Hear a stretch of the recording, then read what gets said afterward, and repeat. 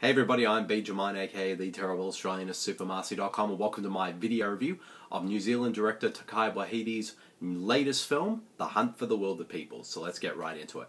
Now, Takai Waititi is definitely a director who I actually have grown to really like over the years, because I know that he, I, to be honest, I wasn't really a big fan of his very first feature-length film, uh, Eagle vs. Shark. To be honest, that was kind of one of those kind of quirky comedies that I actually really did not like at all. But his sort of uh, films that he made after that, like the comedy drama Boy, and of course the horror comedy uh, What We Did in the Shadows, really won me over. I thought those both those films were great films, and I was really excited for his latest film, The Hunt for the Wilderpeople. So, and I have to say, uh, this film, The Hunt for the Wilderpeople, in my opinion, might actually is his best work so far as a director. It pretty much has all the hallmarks that that we have seen uh, in his other previous films in the past. All that quirky humor, that sort of uh, New Zealand sense of humor, and the sort of the heart, and a bit of the sort of the darker aspects, but also a bit of drama. But at the same time, just delivering a film that's both hugely entertaining and really funny. And Hunt for the Wilderpeople is definitely the best sort of combination of all those aspects that we have seen of him over his career so far as a director. And in a lot of ways, it's kind of, in a way, his. Even though his other previous films like Boy and uh, What We Did in the Shadows ha- definitely had some mainstream appeal about them, but they was.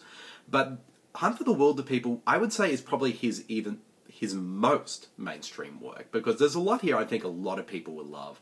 Uh, it's it's really funny, it's a lot of fun, and it also has a bit of an edge to it as well. That sort of makes it sort of give it a bit more that makes it stand out more amongst the sort of the family films that are out there at the moment. Because at the same time as much as it is a really funny and entertaining film it does have sort of some slight darker aspects not dark like like depressing or anything like that but just enough in a way that sort of gives it a bit more of an edge as a family film. And also and also it has a bit of drama in that as well. Like it's a film that has a sort of has a different kind of combination of different genres in it. Like I said, comedy, dr- bit of drama, bit of action, a uh, bit of adventure, and family as uh, family film as well. And, and, it just works so well together as a film.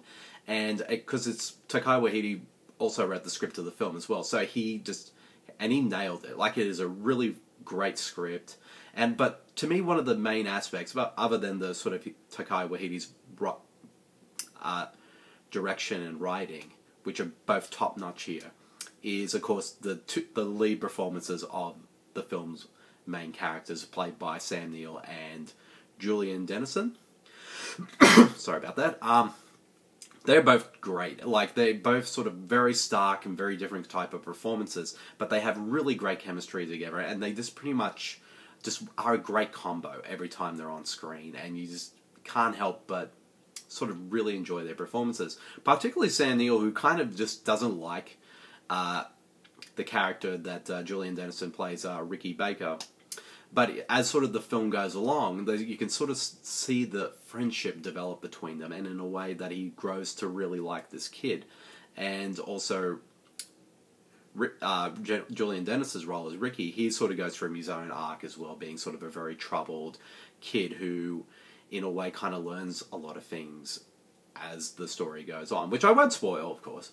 But I, I just think it's just a really fun, really great film that that just that I think if you love Takai Waititi's previous films, you're definitely going to love this one as well. I, I just think it just works extremely well, and it's a, it's an almost perfect comedy. Like it does have its little flaws here and there, and sometimes you know with all the kind of uh, sort of shifts in tone that happens during the course of the film, like being funny one minute or being a bit, bit, a bit more serious the next. It does sort of feel a bit jarring as a whole, but but it, but it still works in really well, and it's and to me, and and I I just thought it was just a great fun time, and that's got some great performances. And besides uh, Sam and Julian Dennison, the supporting cast are also really good as well, and they all deliver in their roles as well.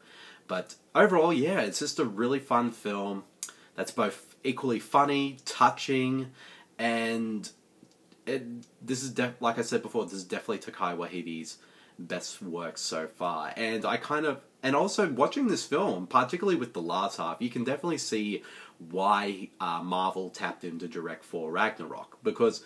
Like I said, this is definitely his biggest film that he's made so far. Not just mainstream appeal, but just in scope, because there's a little bit more, especially in the last half of the film, where there's a bit of sort of action and car chases and stuff like that.